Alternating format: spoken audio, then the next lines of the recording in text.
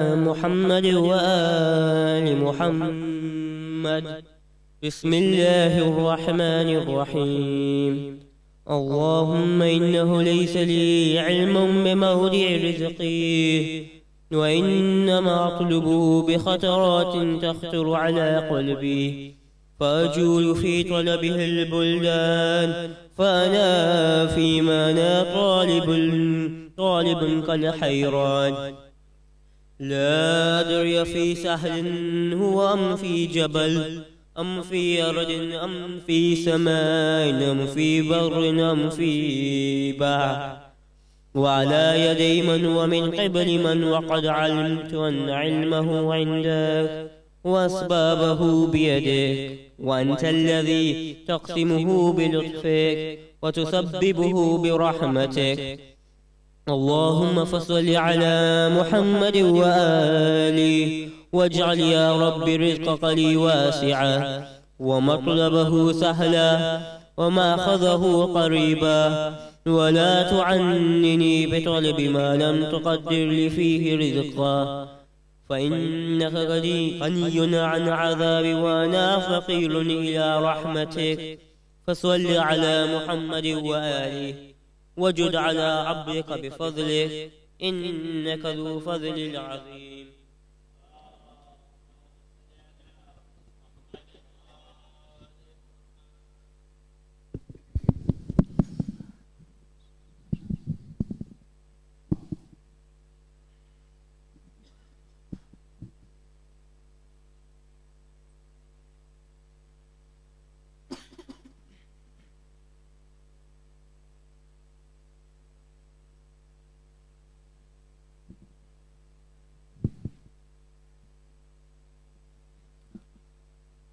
بر محمد و آل محمد صلوات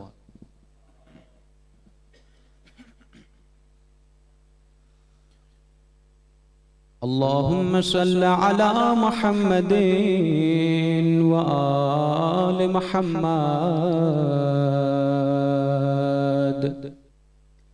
بسم الله الرحمن الرحيم اللهم إني أسألك برحمتك التي وسعت كل شيء وبقوتك التي قهرت بها كل شيء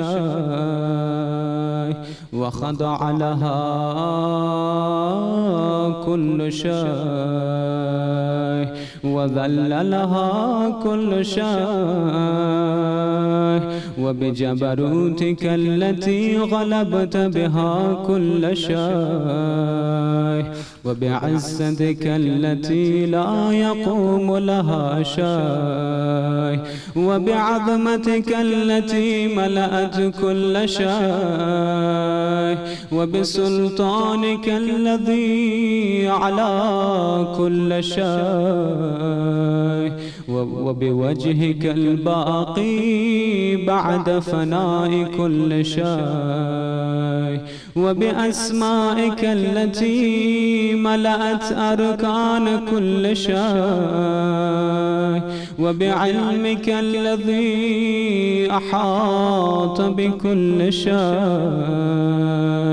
وبنور وجهك الذي أضاء له كل شيء. يا نور يا قدوس يا نور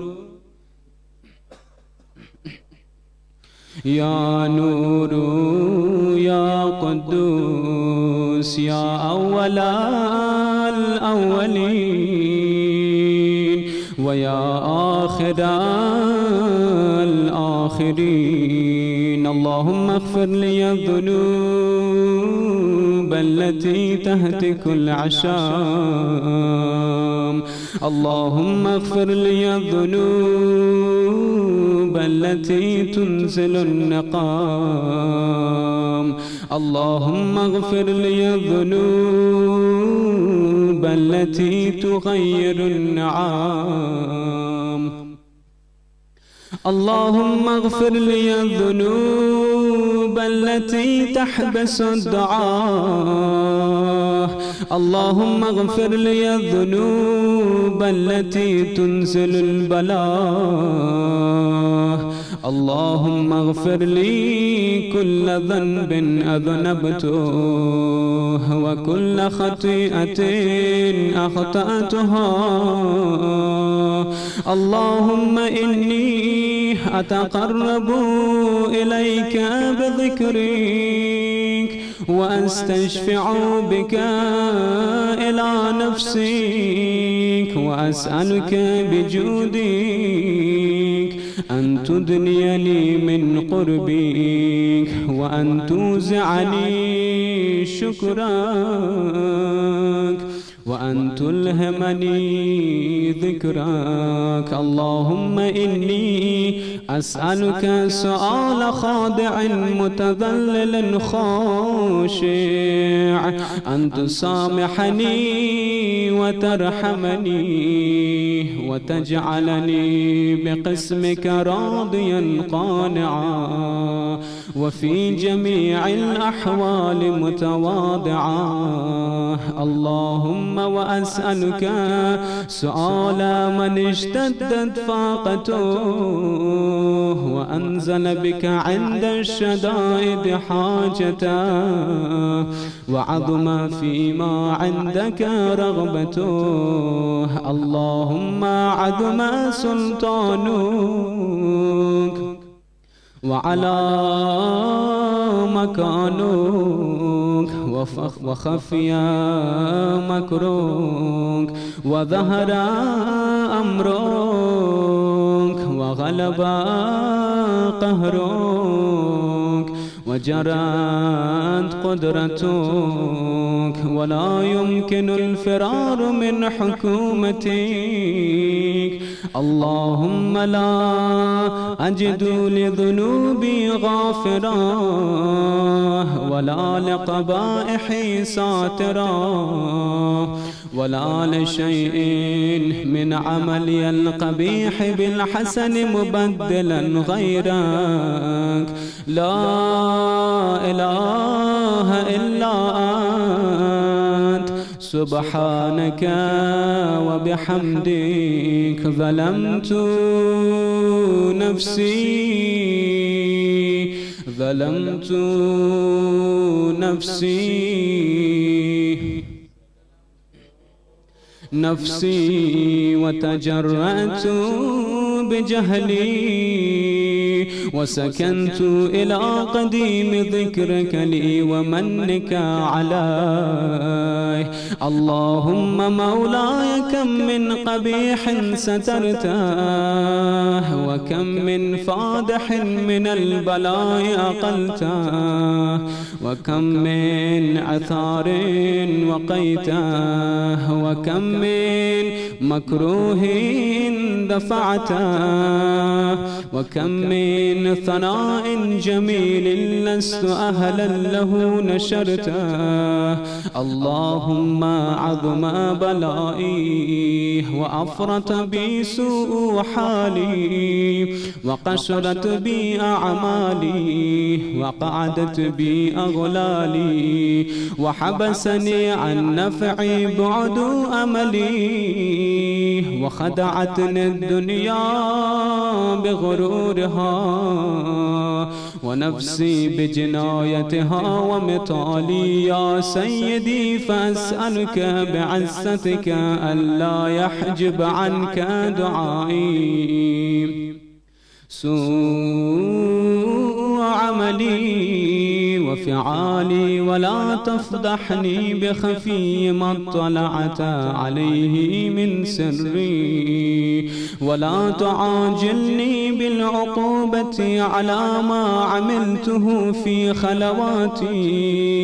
من سوء السوء في فعلي وإساءتي ودوام تفريطي وجهالتي وكثرة شهواتي وغفلتي وكن اللهم بعزتك لي في كل الأحوال رؤوفا وعلي في جميع الأمور عطوفا إلهي وربي من لي غيرك إلهي وربي من لي غيرك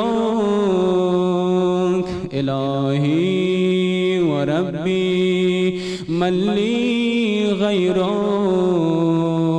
إلهي. وربي من لي غيرك أسأله كشف ضري والنظر في أمري. إلهي ومولاي جريت علي حكما اتبعت فيه هوى نفسي.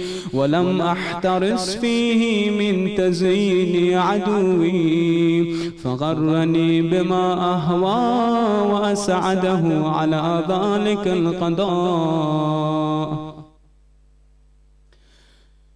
فتجاوزت بما جرى علي من ذلك بعد حدودك وخالفت بعد أوامرك. فلك الحمد علي في جميع ذلك. ولا حجة لي فيما جرى علي فيه قضاؤك وألزمني حكمك وبلاؤك. وقد أتيتك يا إلهي بعد تقصيري. وإسرافي على نفسي معتذرا نادما. منكسرا مستقيلا مستغفرا منيبا مقرا مذعنا معترفا. لا أجد مفرا مما كان مني ولا مفزعا أتوجه إليه في أمري. غير قبولك عذري وإدخالك إياي في سعة رحمتك. اللهم فاقبل عذري وارحم شدة ضري وفكني من شد وثاقي يا رب ارحم ضعف بدني.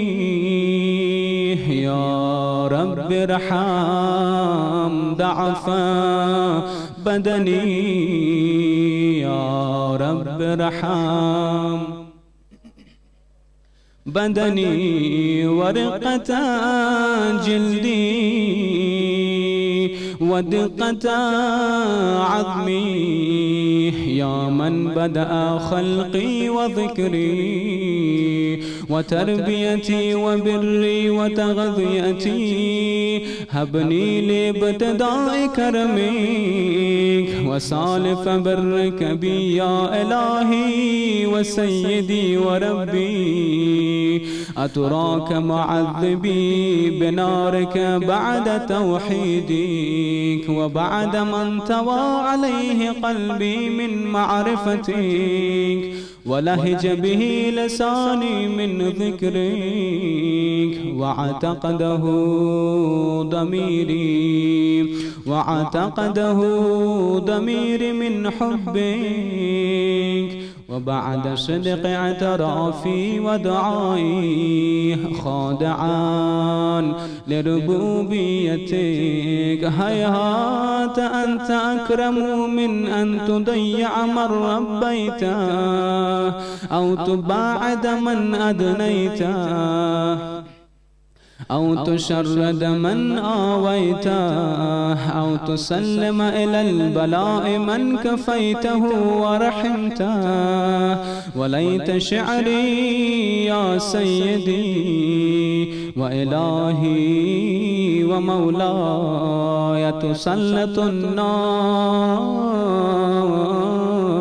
على وجوه خرت لعظمتك ساجدا وعلى ألسن نطقت بتوحيدك صادقا وبشكرك مادحا وعلى قلوب اعترفت بإلهيتك محققا وعلى ضمائر حوت من العلم بك حتى صارت خاشعة وعلى جوارح سعت إلى أوطان تعبدك طائعة. وأشارت باستغفارك مذعنا ما هكذا الظن بك؟ ولا أخبرنا بفضلك عنك يا كريم يا رب. وأنت تعلم ضعفي عن قليل من بلاء الدنيا وعقوباتها وما يجري فيها من المكاره على أهلها على أن ذلك بلاء ومكروه قليل مكثوه يسير بقاؤه. قصير مدته. فكيف احتمالي لبلاء الآخرة؟ وجليل وقوع المكاره فيها وهو بلاء تطول مدته ويدوم مقامه ولا يخفف عن أهله لأنه لا يكون إلا عن غضبك وانتقامك وسخطك وهذا ما لا تقوم له السماوات والأرض. يا سيدي فكيف لي وأنا عبدك الضعيف؟ الذليل الحقير المسكين المستكين. يا إلهي وربي وسيدي ومولاي لأي الأمور إليك أشكو ولما منها أدج وأبكي لأليم العذاب وشدتي أملت للبلاء ومدتي. فلئن شيرتني للعقوبات مع مع عدائك وجمعت بيني وبين أهل بلائك وفرقت بيني وبين أحبائك وأوليائك. فهبني يا إلهي وسيدي. ومولاي وربي صبرت على عذابك فكيف أصبر على فراقك وهبني صبرت على حر نارك فكيف أصبر عن النظر إلى كرامتك؟ أم كيف أسكن في النار؟ ورجائي عفوك. فبعزتك يا سيدي ومولاي أقسم صادقا لئن تركتني ناطقا لأضجن إليك بينها لهذا جيج الآملين. ولأصرخن إليك صراخ المستصرخين ولأبكين عليك بكاء الفاقدين. ولأنادينك أين كنت يا ولي المؤمنين. يا غاية آمال العارفين يا غياث المستغيثين يا غياث المستغيثين.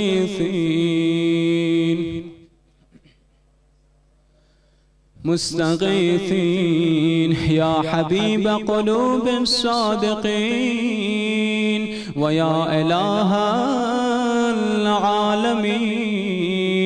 أفتراك سبحانك يا إلهي وبحمدك.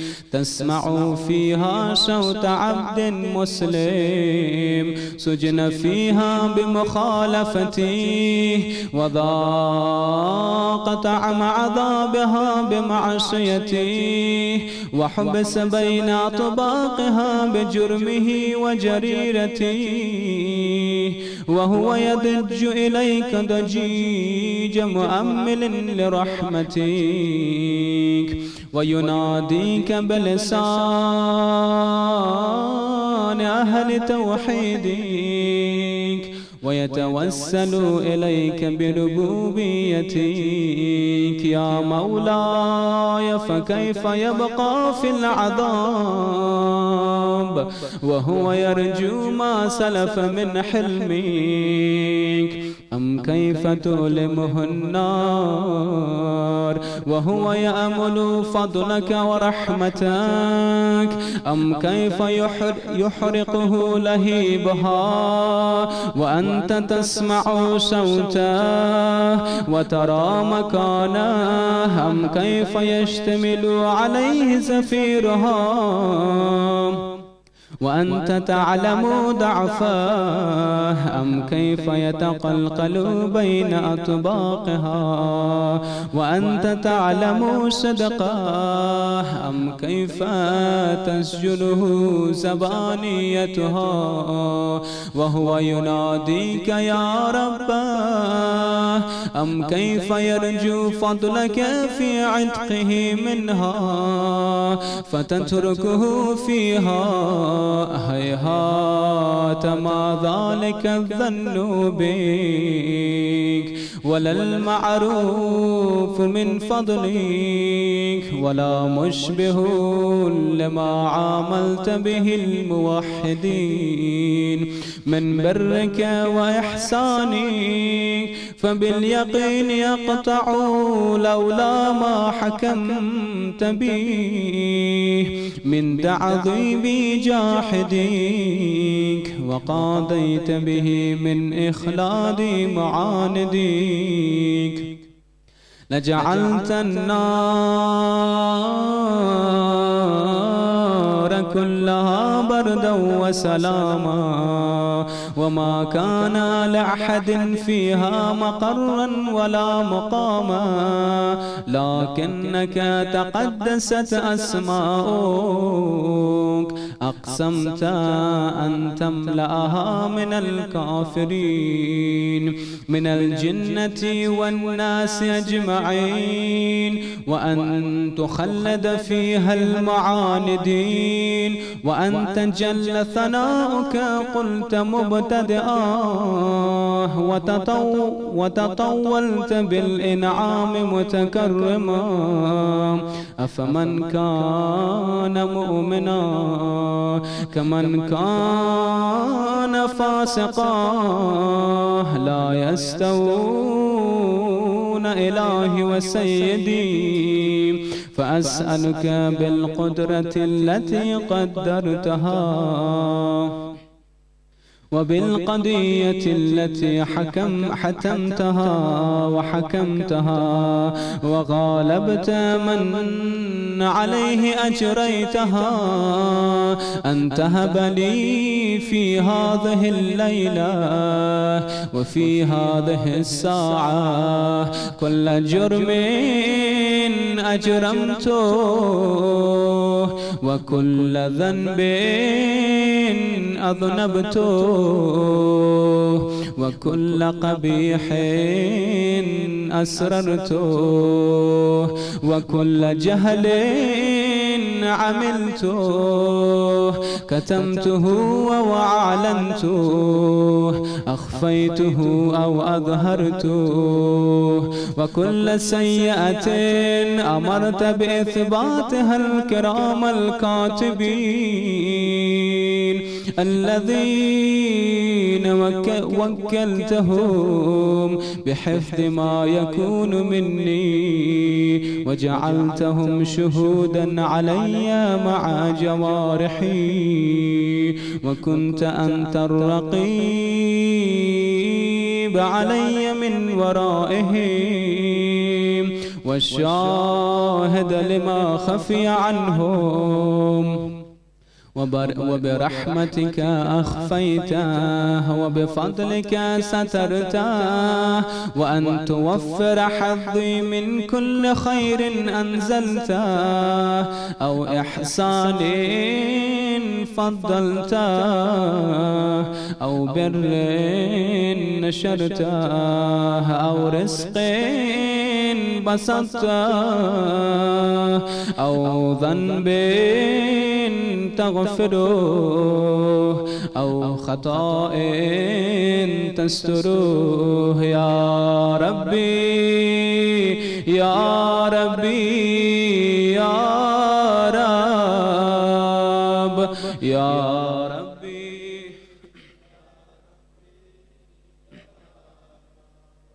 يا إلهي وسيدي ومولاي ومالك رقي يا من بيده ناصيتي. يا عليما بضري ومسكنتي. يا خبيرا بفقري وفاقتي.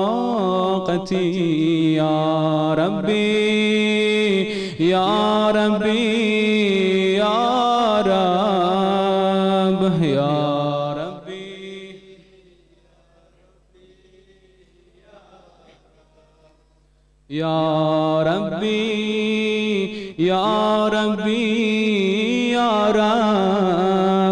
أسألك بحقك وقدسك وأعظم صفاتك وأسمائك أن تجعل أوقاتي من الليل والنار بذكرك معمورة وبخدمتك موصولة وأعمالي عندك مقبولة حتى تكون أعمالي وأورادي كلها وردا واحدا. وحالي في خدمتك سرمدا. يا سيدي يا من عليه معولي يا من إليه شكوت أحوالي يا ربي يا ربي يا رب يا ربي يا ربي يا رب يا يا رب قو على خدمتك جوارحي واشدد على العزيمة جوانحي وهب لي الجد في خشيتك والدوام في الاتصال بخدمتك حتى أسرح إليك في ميادين السابقين وأسرع إليك في البارزين وأشتاق إلى قربك في المشتاقين وأدنو منك دنو المخلصين. وأخافك مخافة الموقنين. وأجتمع في جوارك مع المؤمنين. اللهم ومن أرادني بسوء فأرده ومن كادني فكيده واجعلني من أحسن عبيدك نصيبا عندك وأقربهم منزلة منك وأخشهم زلفة لديك فإنه لا ينال ذلك إلا بفضلك. وجدني بجودك وعطف علي بمجدك واحفظني برحمتك. واجعل لساني بذكرك لهجا وقلبي بحبك متيما ومن علي بحسن إجابتك وأقلني عثرتي واغفر زلتي فإنك قاضيت على عبادك بعبادتك وأمرتهم بدعائك وضمنت لهم الإجابة.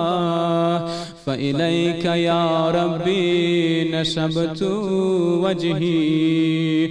وإليك يا ربي مددت يدي. فبعزتك استجب لي دعائي. وبلغني مناه ولا تقطع من فضلك رجائي. واكفني شر الجن والإنس من أعدائي.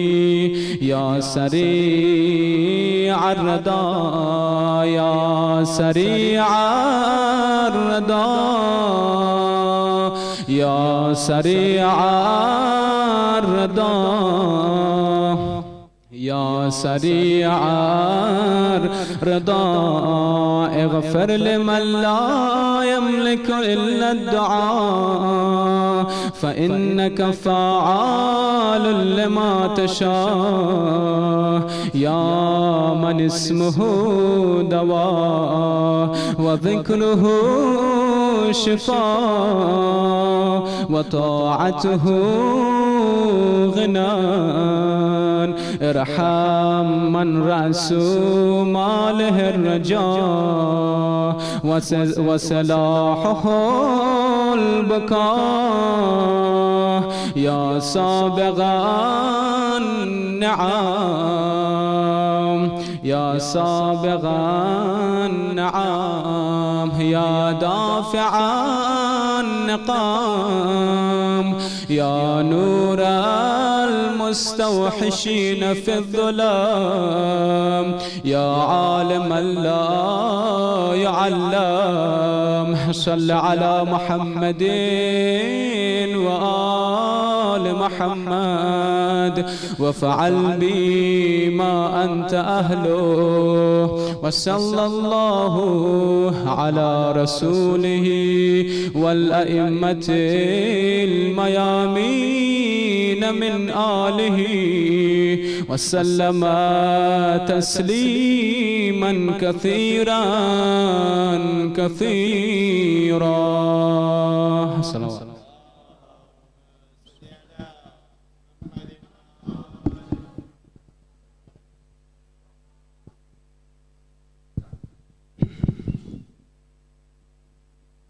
Tonight's majlis is sponsored for the Isale Sawab of Marhum Ahmad Daya Premji. Mu'mineen are requested to recite Surah Fatiha for Marhum Al-Fatiha. Bismillah.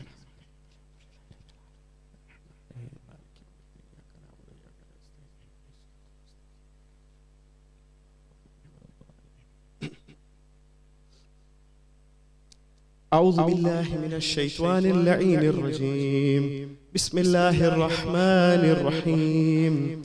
لا حول ولا قوة إلا بالله العلي العظيم. حسبنا الله ونعم الوكيل. نعم المولى ونعم النصير. نحمده ونستعينه ونستغفره ونشكره. ونصلي ونسلم على حبيب إله العالمين. حافظ سره ومبلغ رسالاته. الرسول المسدد المصطفى الأمجد المحمود الأحمد أبي القاسم محمد.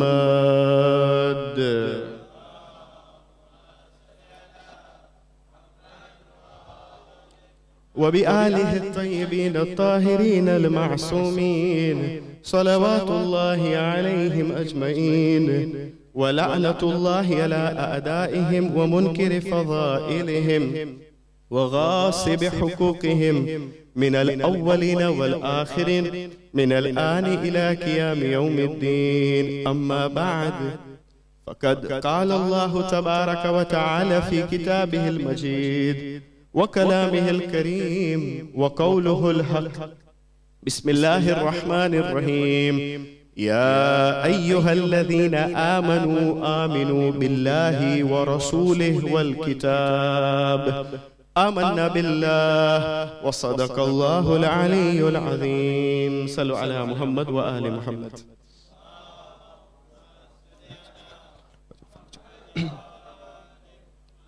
In Surah Nisa, which is the fourth chapter of Quran Majid, verse number 136, Allah subhanahu wa ta'ala interestingly says that, O you who believe, Ya ayyuhalladhina amanu. Now, when I read this verse, or when I read this verse, a question comes in, in, in our minds that Allah has already said, O you who believe. Now there's no need to say that believe. You are addressing those who are believers, who have already brought Iman. Yet Allah subhanahu wa ta'ala says, Ya ayyuhalladhina amanu aminu. Which means that, oh, you who believe, believe. Believe in what? Allah subhanahu wa ta'ala says, Ya ayyuhalladhina amanu aminu. Billahi. Believe in Allah. Wa rasulih. Believe in His Prophet. Wal kitab. And believe in the book which we have revealed on the messenger. Now, the Holy Prophet of Islam is quoted to have said that al imanu aqdum bil qalb wa nutqum bil lisan. Rasulullah says that iman is consists or is a combination of conviction in the heart. Aqdum bil qalb. It is conviction, certainty, yaqeen of the heart. Iman. The root of Iman, the place of Iman, the place of faith is in the heart. Wanutkum bil lisan. And he says that it is speech from the tongue. Wanutkum bil lisan. Wal amalu bil arkan. And it is deeds from the limbs. And Rasulullah is trying to explain us that a believer, his faith will be strong. The conviction, that yaqeen, that certainty will be very strong in the heart. The place of Iman is in the heart. You remember the verse of Quran of Surah Hujurat when the Arabs came to the Bedouins came to Rasulullah and they said that, uh, "Oh Prophet, we have brought Iman," because they had their own reason to come and embrace Islam. Then Allah Subhanahu wa Taala replies to them to Rasulullah that tell them, O Muhammad, that they have not brought Iman. They have just brought Islam. Walakin kulu aslamna. Because they came, they said that we have brought Iman. They thought Iman, bringing Iman is very easy. So Rasul, uh, Rasulullah is told by Allah that tell them that they have not brought Iman. Walakin kulu aslamna. But say that you have brought Islam. Then Allah says that Iman has not penetrated in your heart. It means the place of Iman is in the heart. And Iman is light. It's nur. It is in the heart, it stays there. And that is why here Rasulullah says that Aqdum bil qalb. It is conviction, certainty, yaqeen in the heart. Nutkum bil lisan. A mu'min, when he speaks, you will know that he is a mu'min with his words. The way his, his speech will be full of iman, will be full of faith. Because if that root is in the heart, the, the fruits will be seen physically. And then, wal amalu bil arkan, Rasulullah says, that even the deeds will be seen from his limbs. Rasulullah says.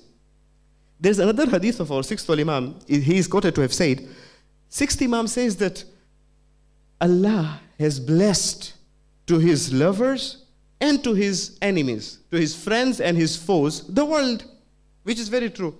The world today, love of the world or the blessings of the world, the bounties of the world. Even the enemies of Allah are having the bounties of the world. They are enjoying the bounties of the world.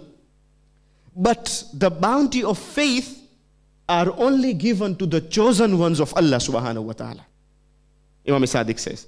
Then Imam Sadiq continues, that is why the people with Iman are in minority. There are very few who have got this light in the heart, Imam Sadiq says. Then he continues, he says that the, their minister, their wazir, the people who have got Iman, their minister is humility and humbleness, forbearance. It is hilm, hilm, for forbearance. And their commander of chief of their army of people of faith, Imam Sadiq says, that the commander of the chief of their army is wisdom. It is hikmat. Imam Sadiq says. That is why in the gathering, he was asked his companions that who is a youth? So somebody replied, Yabna Rasulullah, a youth is a person who is young in age who is very young in age. Even we believe that. Even we know that. That a youth is a person who is young of age. Imam Sadiq poses a question to them. Imam Sadiq says that if you recite Quran and Majid, in Quran, Allah subhanahu wa ta'ala says about the people of Kahf, Ashab Kahf, innahum fityatun amanu birabbihim, that they are those who brought iman to their Lord. Or in verse number 10, he says that they sought protection in the cave. The youths sought protection in the cave. Imam Sadiq says that despite of their old age, yet Allah subhanahu wa ta'ala calls them that they were youths. Fityatun. Innahum fityatun amanu birabbihim. Allah talks about them that they were youths who brought iman to their Lord, in their Lord. So despite of their old age, yet fata, fitya is the plural of fata. La fata illa Ali. La Saife illa Zulfikar. Don't we say that? The Jibreel Amin in the Battle of Uhud, he was eulogizing Amirul Mu'minin in the heavens that there is no youth but Ali. La Fata illa Ali. So Fata is a young person. Ali alayhi salam is also called as a young person. Or Inna al-Hasan wal-Hussein Sayyiday Shabab Ahl al-Jannah. All those who will go to the paradise, they'll be youths. They are the leader of the youths of paradise according to the or according to a hadith. So here also Imam Sadiq says that who is a youth? So they said that a young person. Imam Sadiq says no, but despite of their old age, the people of Cave are also called youths. Imam Sadiq says the person who has got iman, who has got faith, strong faith, and then observes piety, he is a youth. He is a youth. Now, levels of faith. What are levels of faith? See, there could be a person, he has got, Imam Sadiq says, there could be a person, he has got one portion of faith.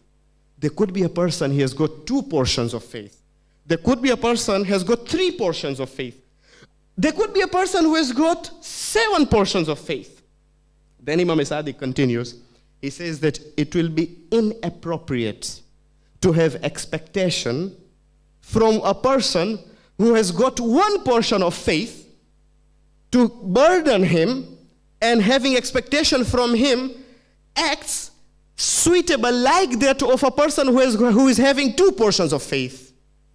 Imam Sadiq says. Or if a person has got two portions of faith, and then you have expectation from him to burden him like that person to, ha- to, having suitable actions from acts from him like that a person who is having three portions of faith. Imam explains this to a saddler who had served him. Imam tells him let me present to you an example. Imam says that there was a person who was a muslim a mu'min who had faith his neighbor became a muslim who was a Christian. He embraced Islam. When he embraced Islam, next day, early in the morning, this Muslim went to the house of that neighbor who had embraced Islam, to the house of a convert. He told him that it is early morning, let's go to the mosque and let us go and pray. He told him, perform wudu. That convert became obliged to perform wudu. He performed wudu and they went together to the mosque, to the masjid. They prayed namaz al-subh. This is the narration from Imam Sadiq alayhi salam. It's not from me. They prayed namaz al-subh. After praying namaz al-subh, They did all other mustahabbat. Thus, the convert became obliged to do all those. He's a new convert. He doesn't know religion. It's first time entering the mosque. He was obliged to do all those recommended prayers. And all, they prayed all recommended prayers until sunrise. Now, this Muslim person says that the days are short. Soon it will be namaz zohar time. Let us pray namaz zohar. Wait, let us wait. He wanted to go. He says, wait until it becomes the time of namaz zohar. They prayed namaz zohar. After namaz zohar, the convert wanted to leave the masjid. He says, wait, soon it will be the time of namaz asar. They prayed namaz asar. After namaz asar, he wanted to go. He said, soon it will be namaz time of maghrib. They prayed namaz maghrib. He, he persuaded him to stay till isha, till late night, and the convert went back. Next morning, when the Muslim goes again to knock at his door early in the morning, when this convert opens the door, he says that, look, I'm a poor person and I don't have much time in my hand. I also need to earn my livelihood. I've got a family who are dependents upon me. I need to look after them. For me, it's difficult. To go and seek and go and find for another person who will accept your religion. Imam Sadiq salam concludes here by saying that the ignorant Muslim, uh, because that man retorted by saying that, Imam Sadiq says that the ignorant Muslim forced him to revert to his original faith, to his original faith, because of his actions. So, the conclusion is that there are some people who have got one portion of faith. They are shallow in faith. All cannot be same in faith. The ranks are different. Believers are ranked in different levels. There are levels of faith. Do not have expectation from a believer like that of a person who is having two portions of faith or three portions of faith. And that is why when it comes to Salman al-Farsi, historians and scholars say that Salman al-Farsi had the rank of 10th daraja of Iman.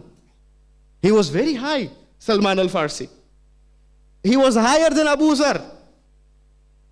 He was very high, Salman al Farsi. To that extent that once it is, it is said in, in the riwayah and in the hadith that whenever Jibreel Amin descended upon Rasulullah, Jibreel Amin would say to Rasulullah that, Ya Rasulullah, convey salams to Salman al Farsi. Allah subhanahu wa ta'ala has conveyed salams to Salman al Farsi. My salutation, Allah has given salutations to Salman al Farsi. Rasulullah. Jibreel Amin says to Rasulullah. He, would, he was able, Salman al Farsi was able also to, he had the knowledge of genealogy. He could also interpret dreams.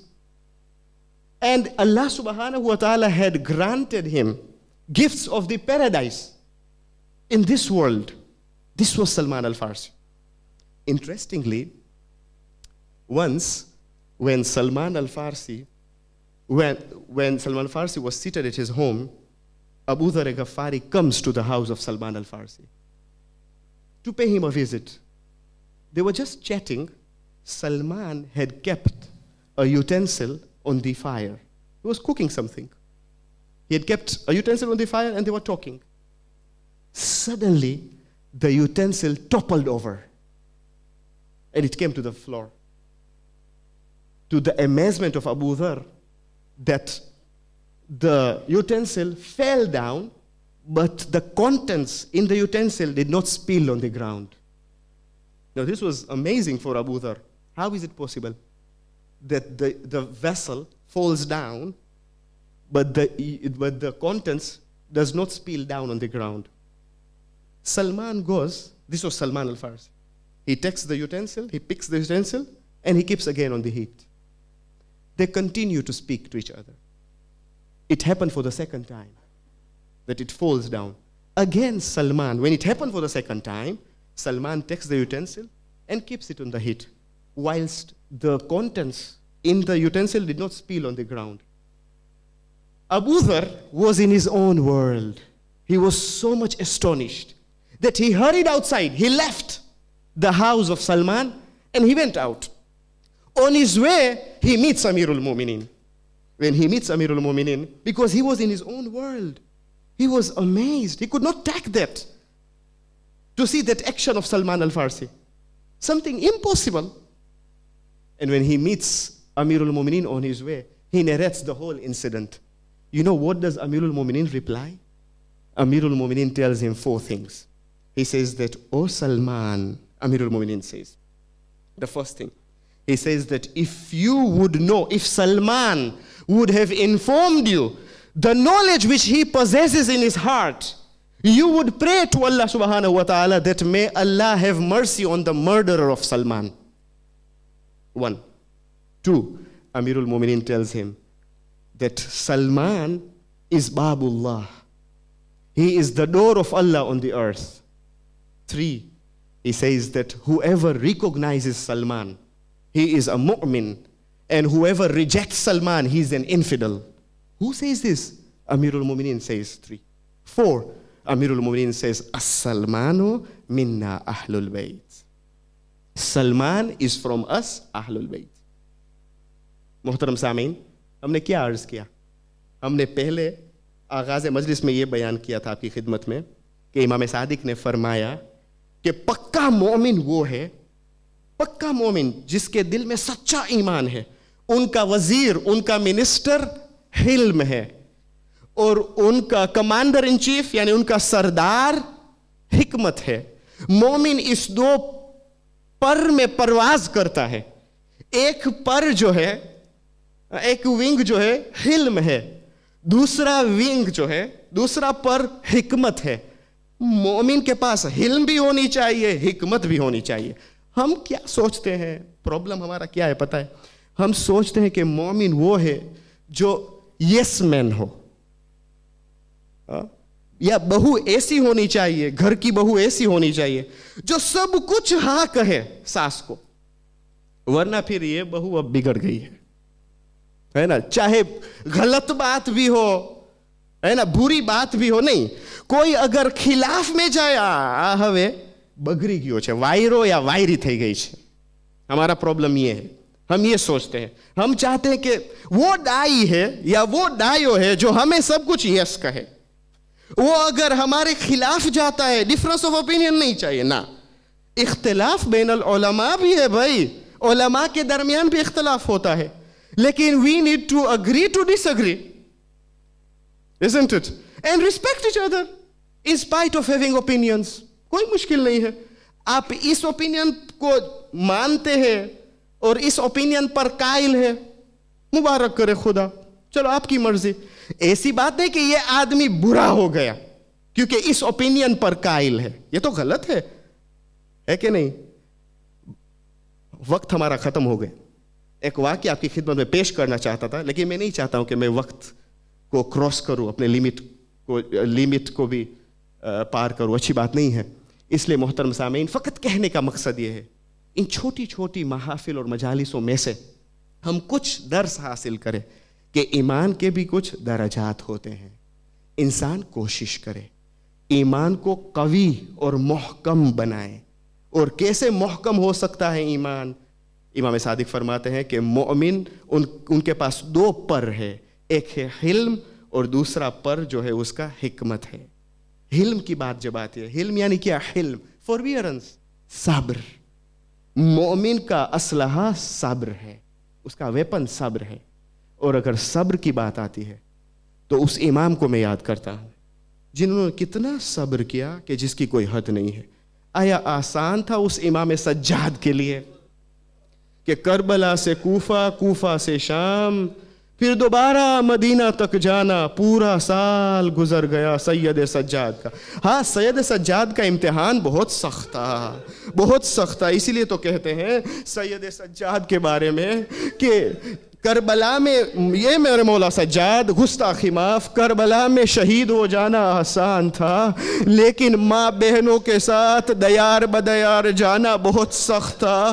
اس لیے جب بھی پوچھا گیا کہ سب سے زیادہ مشقتیں اور مصیبتیں کہاں پر پڑی، تو امام نے فرمایا الشام الشام الشام منحال کہتے ہیں کہ میں نے میرے مولا سجاد سے پوچھا، مولا، عباس، آپ کے چچا عباس تو کربلا میں شہید کیے گئے۔ آپ کے بھائی علی اکبر تو کربلا میں شہید کیے گئے۔ آپ کیوں شام کا نام لیتے ہیں؟ تو امام نے فرمایا، میرے لیے بہت سخت تھا کہ سات سو کرسی نشین کے مجمع میں منادی ندا دے کہ هذه زينب و هذه كلثوم۔ یہ علی کی بڑی بیٹی زینب ہے۔ یہ علی کی چھوٹی بیٹی کلثوم ہے۔ میری ماں بہنیں، میری پھوپی بے مقنعہ و چادر دربارِ ظالم ظالم کے دربار میں ان کو لایا جائے۔ بے مقنعہ و چادر اور سات سو کرسی نشین کے درمیان میں میرے لیے بہت سخت تھا منحال نے کہا، مولا کب تک روئیں گے؟ مولا نے فرمایا اے منحال تم نے میرے ساتھ انصاف نہیں کیا۔ اے منحال یعقوب کے بارہ فرزند تھے۔ اس میں سے ایک یوسف گم ہوا۔ قرآن کہتا ہے کہ یعقوب کی آنکھوں میں سفیدی آ گئی۔ اتنا روئے یعقوب، ہمارے تو ایسے سترہ فخر یوسف، ان کو شہید کیا گیا۔ ان کے سروں کو نوکِ نیزے پہ رکھا گیا۔ دیار بدیار پھرایا گیا۔ حتیٰ اس علی اصغر کو بھی، جو میرے بابا نے ان کو سپرد خاک کیا تھا پشت خیمے۔ ان کو بھی باہر نکالا گیا۔ سر تن کو سر تن سے جدا کیا گیا۔ ان کے سر کو بھی نوکِ نیزے پہ رکھا گیا اور یہ ماں رباب دیکھتی رہ گئی اور اپنے زخموں کو تازہ کرتی رہی۔ لعنة الله للقوم الظالمين۔ وسيعلم الذين ظلموا أي منقلب ينقلبون إنا لله وإنا إليه راجعون۔ رضا بقضائه وتسليما لأمره۔ جن مرحوم کے لیے یہ مجلس منعقد کی گئی ہے، ان مرحوم کے لیے ایک سورہ فاتحہ پڑھنے کی گزارش، الفاتحہ۔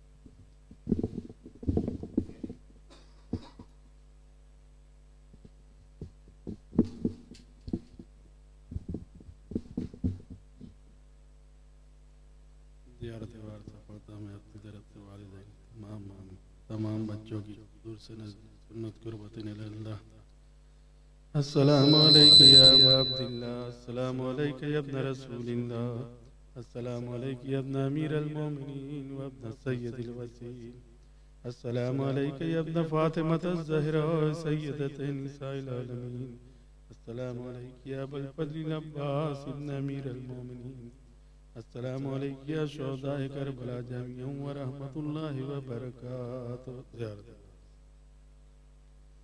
السلام عليك يا وارث آدم صفوة الله. السلام عليك يا وارث النبي الله. السلام عليك يا وارث إبراهيم وخليل الله. السلام عليك يا وارث موسى كليم الله. السلام عليك يا وارث عيسى روح الله. السلام عليك يا وارث محمد حبيب الله. السلام عليك يا وارث أمير المؤمنين ولي الله. السلام عليك يا ابن محمد المصطفى. السلام عليك يا ابن علي المرتضى. السلام عليك يا ابن فاطمة الزهراء السلام عليك يا ابن خديجة الكبرى. السلام عليك يا أنصار الله وابن صاري والوتر المغفور أشهد أنك قد أقمت الصلاة وآتيت الزكاة وأمرت بالمعروف ونهيت عن المنكر. وأطعت الله ورسوله حتى أتاك اليقين. فلان الله أمة قتلتك ولان الله أمة ظلمتك ولان الله أمة سمعت بزولك وفرزيت به. يا مولاي يا أبا عبد الله أشهد أنك كنت نورا في الأسلاب الشامك والأرحام المطهرة لم تنجسك الجاهلية بأنجاسها. ولم تلبسك من مطلمات من ثيابها. وأشهد أنك من دعاء بالدين وأركان المؤمنين. وأشهد أنك الإمام البر التقي الرزي الزكي الهادي المهدي. وأشهد أن الأئمة من ولدك وكلمة التقوى وعلم الهدى والعروة الوثقى والحجة على الدنيا. أشهد الله وملائكته وأنبياء ورسوله. أني بكم مؤمن وبيا بكم موقن بالشرائع ديني وخواتيم عملي وقلبي لقلبكم سلم وأمري لأمركم متبع. صلوات الله عليكم وعلى أرواحكم وعلى أجسادكم وعلى أجسامكم وعلى شاهدكم وعلى غائبكم وعلى ظاهركم وعلى باطنكم. يا رب أكبر السلام السلام عليك يا ابن رسول الله. السلام عليك يا ابن نبي الله. السلام عليك يا ابن أمير المؤمنين. السلام عليك يا ابن الحسين الشهيد. السلام عليك أيها الشهيد وابن الشهيد. السلام عليك أيها المظلوم وابن المظلوم. لعن الله أمة قتلتك ولعن الله أمة ظلمتك ولعن الله أمة سمعت بزورك ورزيت بزيارة السلام عليكم يا أولياء الله وأحبه والسلام عليكم يا أصفياء الله وأعداءه السلام عليكم يا نصار دين الله السلام عليكم يا نصار رسول الله. السلام عليكم يا نصار أمير المؤمنين السلام عليكم يا نصار فاطمة الزهراء سيدة نساء العالمين السلام عليكم يا نصار أبي محمد الحسن بن علي الولي الزكي الحسين الأمين. السلام عليكم يا نصار أبي عبد الله بأبي أنت وأم تبتم وتابت الأرض التي فيها دفنتم وفزتم فوزا عظيما. ويا ليتني كنت معكم فأفوز معكم. السلام عليك يا أبا الفضل العباس ابن أمير المؤمنين. السلام عليك يا ابن سيد الوسيل السلام عليك يا ابن أول القوم إسلام وأقدم إيمان وأقوم بدين الله وأبدهم على الإسلام. أشهد لقد نصحت لله ولرسوله ولأخيك فنعم الأخ المواصي فلعن الله أمة قتلتك. ولعن الله أمة ظلمتك ولعن الله أمة استحلت منك المحارم. وانتهكت حرمة الإسلام. فنعم الصابر المجاهد المعامل الناصر الدافع عن أخيه المجيب إلى طاعة ربه الراغب فيما زيد فيه غير من الثواب الجزيل والثناء الجميل والحقق الله بدرجة أبائك في جنات النعيم السلام عليكم ورحمة الله وبركاته السلام عليك يا مولا وابن مولا. السلام عليك يا غريب الغرباء السلام عليك يا سلطان أبا الحسن علي بن موسى رضا. كن شافينا وشافي والدينا في يوم الجزاء. السلام عليكم ورحمة الله وبركاته. السلام عليكم مولانا يا صاحب الأجر والزمان. الأمان الأمان الأمان. السلام عليك يا شريك القرآن. السلام عليك يا خليفة الرحمن. السلام عليك يا إمام الإنس والجان. أجل الله تعالى فرجك. وسأل الله مخرجك وظهورك وجعلنا من أنصارك وأعوانك ورحمة الله وبركاته